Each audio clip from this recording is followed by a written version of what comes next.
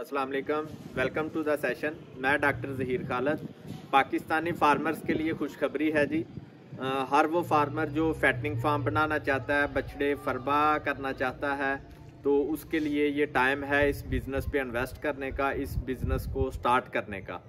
तो हर वो फार्मर जिसके पास बछड़े हैं वो उन पर मेहनत करे उनको अच्छा खिलाए और उनको तैयार करे। आज से डेढ़ साल साल पहले जो मुझसे पूछता था कि जी फ़ार्मिंग का हम क्या करें फैटनिंग फार्म बनाना चाहते हैं तो मैं रिफ्यूज़ कर देता था कि ये इन्वेस्टमेंट का टाइम नहीं। रीज़न इंग्रेडिएंट्स की प्राइसेस हाई थी। इंग्रेडिएंट्स की प्राइसेस मतलब कि जो वनडे में चीज़ें इस्तेमाल होती हैं जानवरों के खाने के लिए, उनकी प्राइसेस ज़्यादा थी। तो जो वो वंडा खा के जानवर वेट गेन करता था उस हिसाब से जो मीट था, उसकी प्राइसेस लो थी।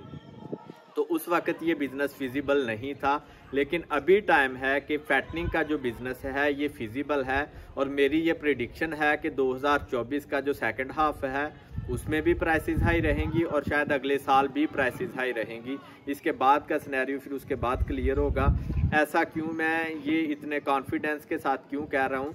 तो इसकी रीज़न है कि ऑल ओवर द ग्लोब पूरी दुनिया में जो लोग बीफ के एक्सपोर्टर थे, जो जानवर तैयार करके दूसरी मार्केट्स को बीफ सेल किया करते थे, वहाँ बीफ की जो है सप्लाई उसमें कमी आई है।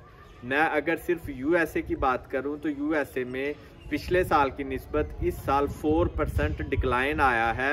फिनिशिंग कैटल में। फिनिशिंग कैटल हम उसको कहते हैं कि जो जानवर हमने फैटनिंग करवा के तैयार कर दिया है और रेडी टू एक्सपोर्ट है, उसको हम फिनिशिंग कैटल बोलते हैं। तो उसमें फोर परसेंट डिक्लाइन आया है। रीज़न के कुछ ड्राउट कंडीशंस रहीं।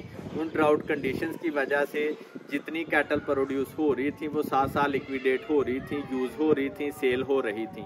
तो जिसकी वजह से नंबर ऑफ़ एनिमल जो है उनमें ही टू परसेंट डिक्लाइन आ गया है, जबकि फिनिशिंग जो है उनमें ऑलमोस्ट फोर परसेंट डिक्लाइन आया है, कमी आई है, जिसकी वजह से प्रिडिक्शन ये है कि अगले दो तीन साल तक जो मार्केट के सिनेरियो हैं, उनमें बीफ की सप्लाई को पूरा करना टफ रहेगा। तो दो वजह बनी, एक तो ये कि कैटल की प्रोडक्शन में कमी आई फिनिशिंग कैटल की प्रोडक्शन में कमी आई, दूसरा बीफ की डिमांड बढ़ गई है।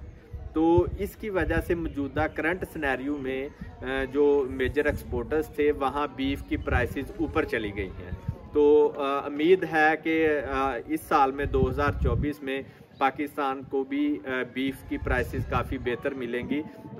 कुछ लोगों का ये होगा कि पाकिस्तान तो बीफ एक्सपोर्ट नहीं करता तो पाकिस्तान में बीफ एक्सपोर्ट की ठीक ठाक मार्केट मौजूद है। अगर मैं बात करूँ सिर्फ़ लाहौर और उसकी वैसिनिटी की तो अराउंड ट्वेंटी एक्सपोर्टर बीफ के एक्सपोर्टर इस वक्त काम कर रहे हैं, जिसमें मेजर नाम जो आपने सुने होंगे एशिया मीट है आबेदीन मीट है, जैनिथ मीट है, इस तरह से ना ये बीफ को एक्सपोर्ट कर रहे हैं और इस वक्त भी इनकी जो बीफ की प्राइसेस हैं, ये समझ में आती हैं। दूसरा इंग्रेडिएंट्स की प्राइस नीचे आ चुकी है। अगर सिर्फ़ मैं मकई की बात करूँ तो पिछले आठ दस माह से मकई अठारह सौ, दो हज़ार पे खड़ी है और इसी तरह इस वक्त भी फ़ार्मिंग जो है फैटनिंग की, वो फिजिबल है और गवर्नमेंट ऑफ़ पाकिस्तान को भी बीफ की डिमांड आई है कि हमें बीफ सप्लाई किया जाए अदर कंट्री से। तो मेरे ख्याल में मेरी ये पशीन गोई है कि 2024 और 2025 में बीफ की प्राइसेस ठीक ठाक हाई रहने वाली हैं। तो स्पेशली अभी ईद आ रही है तो है कि इस ईद पे भी जानवरों की जो प्राइसेस हैं वो पिछले साल की नस्बत बेहतर रहेंगी। और ईद के बाद भी जो फैटनिंग का प्रॉपर बिज़नेस है वो भी बड़ा अच्छा रहेगा। जो प्रोड्यूसर्स हैं, जो फैटनिंग फ़ार्मिंग कर रहे होंगे, उनके लिए बड़ा फ़ायदा मंद है एटलीस्ट अगला साल, डेढ़ साल बहुत फ़ायदा मंद है। तो यही टाइम है फैटनिंग में इन्वेस्टमेंट करने का, बछड़ों को फरबा करने का फार्म अगर किसी का है तो वो उसमें अपने हेड्स को बढ़ा दे नंबर ऑफ़ एनिमल को इंक्रीज़ करे।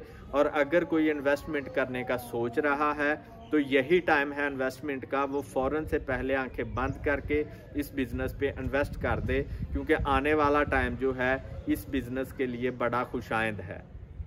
तो ये एक खुशखबरी थी एक कह लें कि बड़ी ही आ, सारी तहकीक और रिसर्च के बाद ये मैंने एक पेशीन गोई की है। तो इन उम्मीद है कि ये हंड्रेड परसेंट ठीक साबित होगी। तो इसके साथ मुझे इजाज़त दें। अल्लाह हाफ़